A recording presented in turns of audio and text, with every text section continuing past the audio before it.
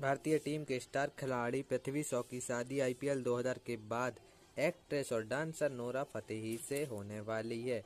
दोस्तों, आप भी चाहते हो नोरा फतेही से पृथ्वी शॉ की शादी हो? दोस्तों, आपको पता है नोरा फतेही को डांसर्स के रूप में बहुत अच्छे से जानता है पूरा वर्ल्ड और उनके डांसिंग से पूरा वर्ल्ड प्रभावित होता है।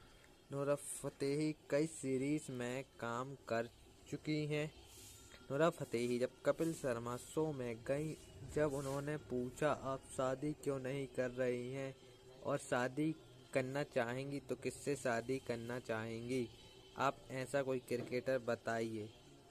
तो नोरा फतेही ने पृथ्वी शॉ का नाम लिया। इसलिए पृथ्वी शॉ नोरा फतेही की शादी आईपीएल 2000 के 22 आईपीएल के बाद होने वाली है।